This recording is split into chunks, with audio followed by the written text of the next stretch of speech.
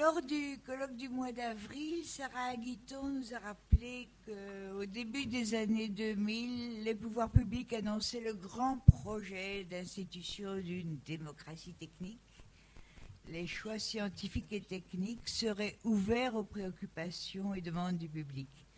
Et elle a décrit, pour ceux qui n'étaient pas là, euh, certaines des raisons de l'abandon de ce projet, désormais considéré par ces mêmes pouvoirs publics comme un échec.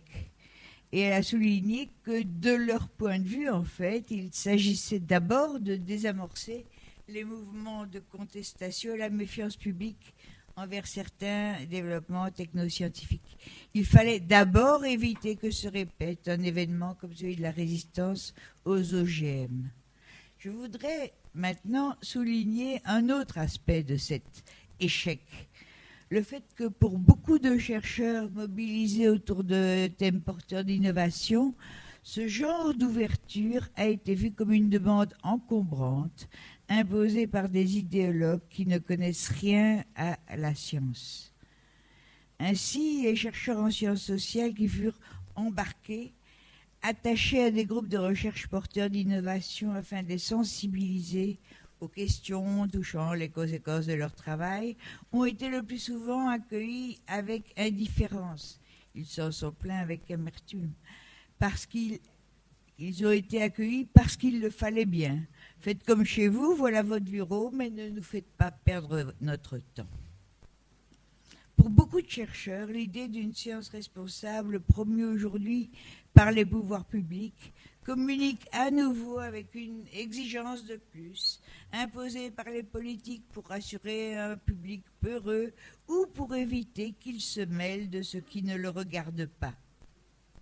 Et lorsque nous posons ici la question d'une recherche responsable, nous devons savoir que les chercheurs, alors même qu'ils se sentent trahis par les pouvoirs publics, qu'ils en appellent au public pour sauver la recherche de sa marchandisation, ne seront pas davantage aujourd'hui qu'hier nos alliés. Pour caractériser la tension prévisible entre la liberté de recherche à laquelle tiennent les chercheurs et la responsabilité qui leur semble hors propos, le manifeste proposé par Sciences citoyennes a décrit la liberté obtenue par les communautés académiques comme un pacte faustien. Le mot est dur. Faust vend son âme pour avoir accès au secret de l'univers. Pouvons-nous dire que pour conserver sa liberté, la science a elle aussi vendu et donc perdu son âme? Quelque chose frappe lorsque l'on entend bien des chercheurs défendre le droit d'une science libre et désintéressée à ne pas avoir à rendre des comptes, à ne pas se poser des questions comme celle de la responsabilité de ce qu'elle rend possible. C'est en fait la pauvreté stéréotypée de leurs arguments. On entend c'est à la société de décider, mais c'est une pauvre abstraction. Personne ne s'intéresse parmi ceux qui disent ça aux moyens pour cette décision, aux rapports de force qui éventuellement prévaudront, etc. Pauvre abstraction. La possibilité que les choix de recherche puissent constituer une question politique suscite une défense tout aussi stéréotypée. On entend encore parler de l'affaire Lysenko. Euh, toute mise en conséquence reconnue comme indésirable se verra régulièrement opposée. Mais hein, celui qui a inventé la hache était-il responsable de ce que frappe son voisin? Et toute mise en cause plus générale du type de développement techno-industriel auquel les sciences participent entraînera évidemment l'argument vous voulez nous ramener à l'âge des cavernes. Et ça encore aujourd'hui, à l'époque où ce développement met en danger la Terre.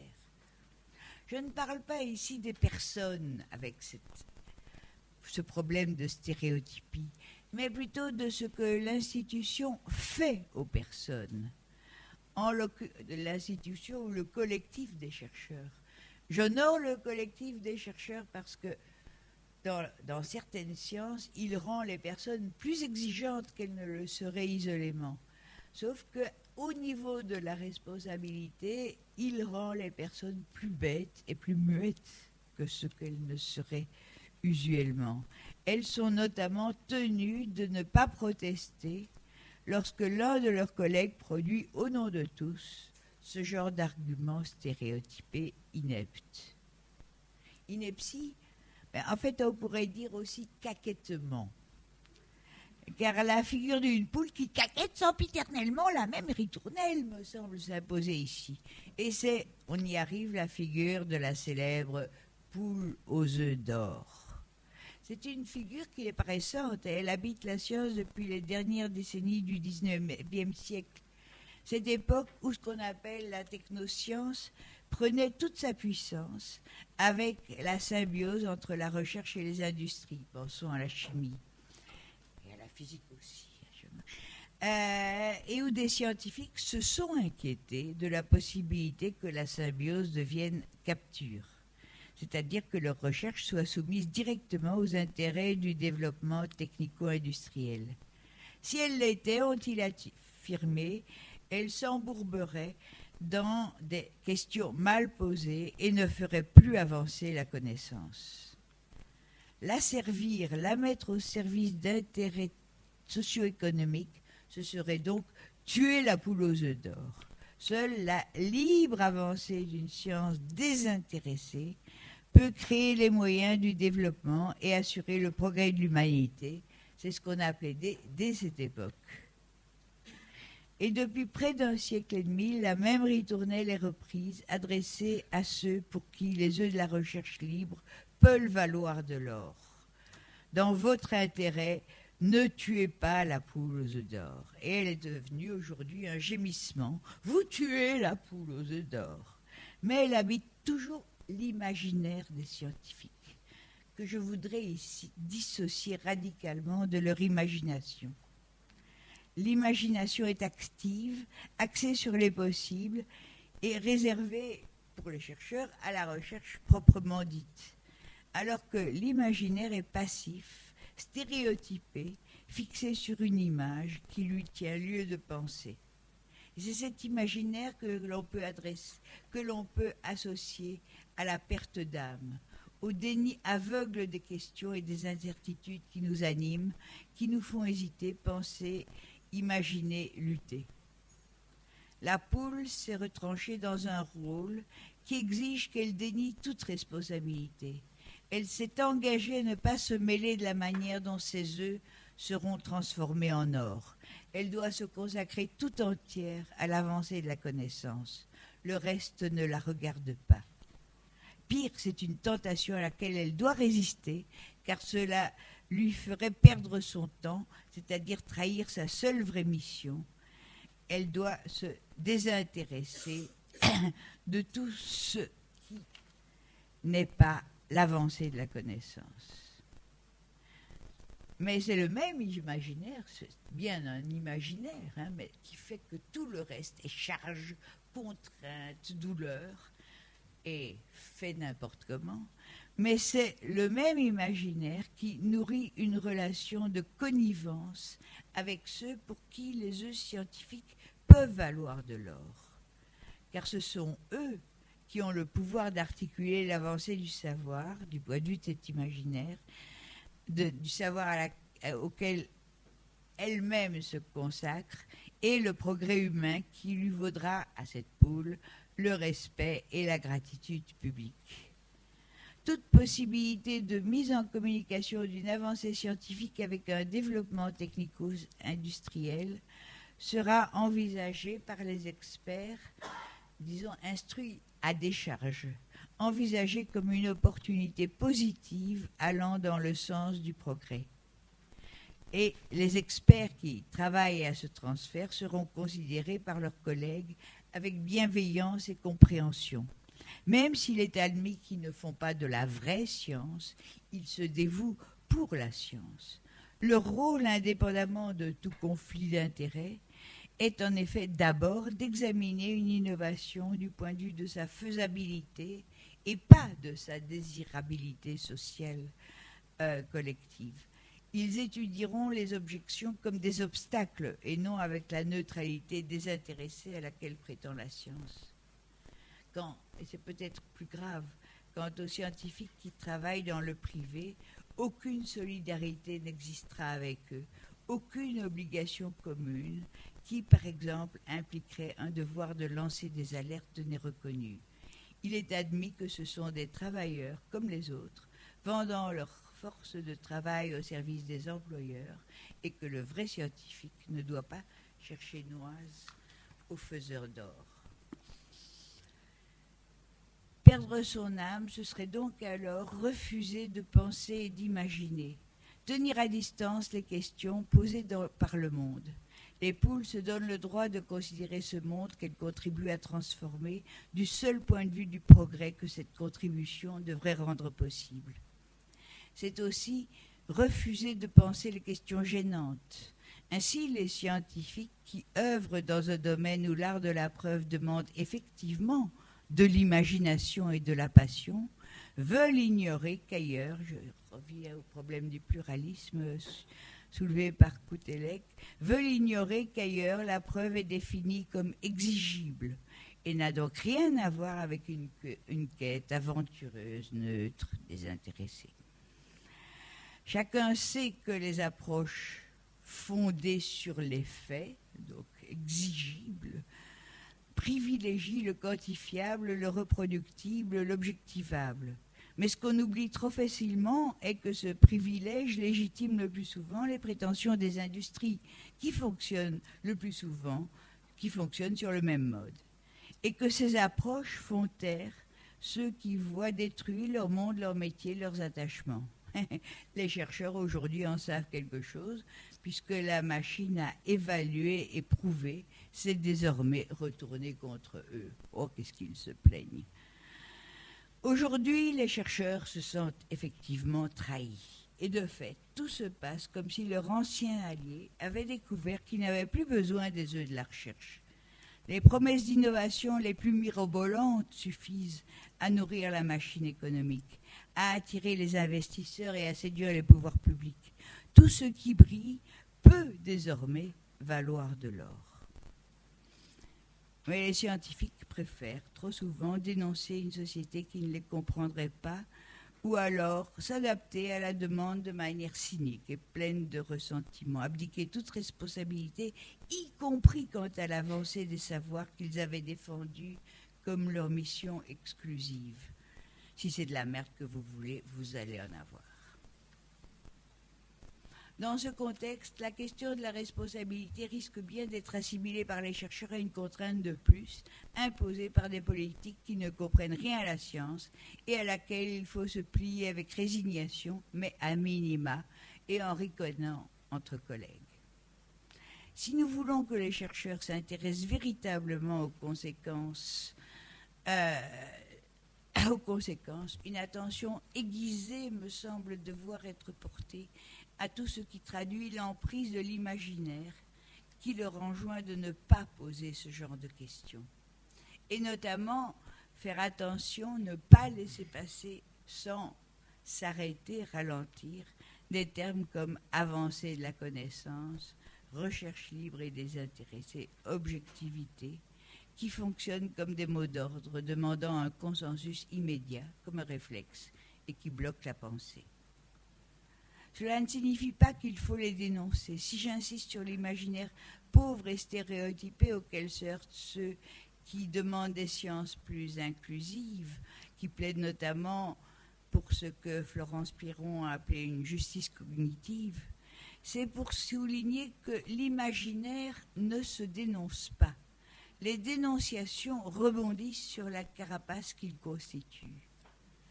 Vaincre cet imaginaire, c'est plutôt s'attacher à repeupler l'imagination des chercheurs, une imagination dévastée par leur mode de formation et d'évaluation. Affaiblir un mot d'ordre, c'est le faire bégayer, lui faire perdre son évidence, c'est faire penser ce qu'il définit comme allant de soi.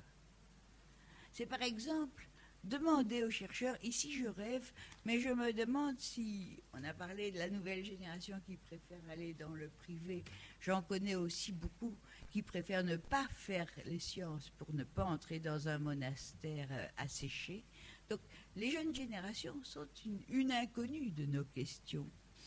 Euh, demander aux chercheurs qu'ils se rendent capables de discuter avec précision et lucidité de ce qui, dans leur champ, celui auquel ils se préparent ou où ils travaillent, et pas, surtout pas en général, donc de ce qui s'entend par savoir désintéressé ou par avancer ou de ce que l'objectivité dont ils se prévalent leur demande d'ignorer.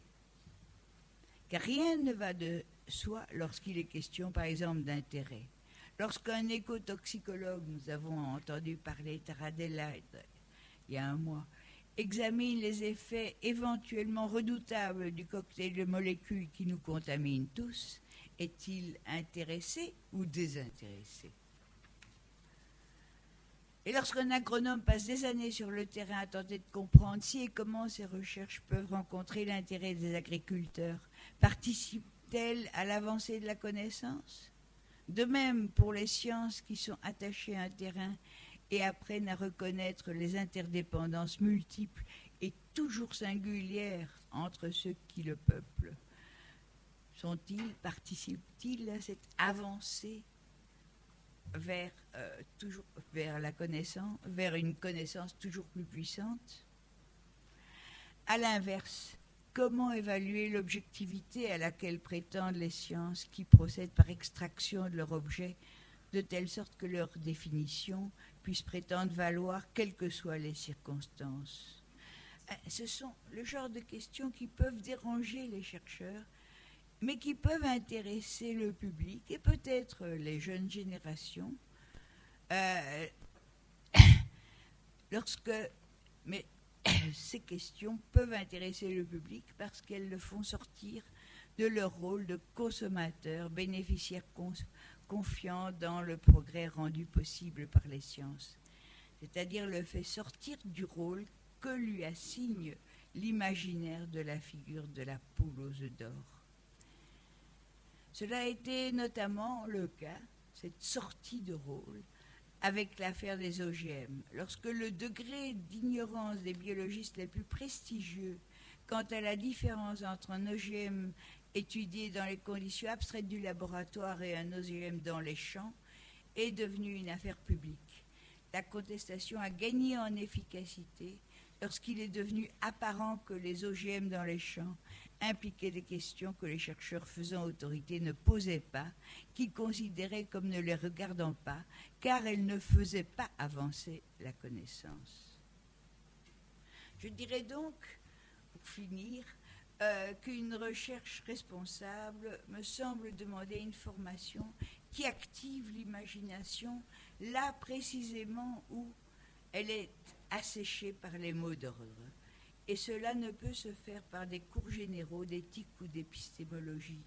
Les étudiants, on le sait, savent qu'ils doivent apprendre et restituer, puis sont autorisés à oublier de tels nous avons besoin que les étudiants et chercheurs soient activement sensibilisés à la pauvreté et à la partialité des arguments de ceux qui ont défendu ou défendent une innovation comme solution enfin rationnelle à un problème d'intérêt commun.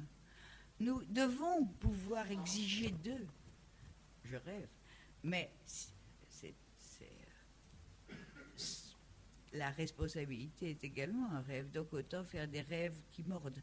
Nous devons pouvoir exiger d'eux qu'ils apprennent à percevoir et caractériser sans indulgence les manières dont un argument peut devenir pseudo-scientifique lorsqu'il définit les contestations comme des obstacles au progrès.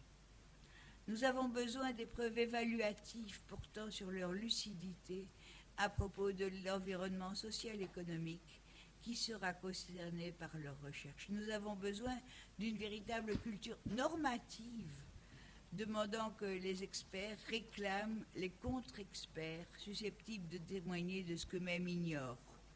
Et nous avons besoin donc aussi d'une communauté scientifique qui dénonce publiquement les simplifications abusives et les arguments d'autorité avec lesquels certains de leurs collègues défendent une innovation.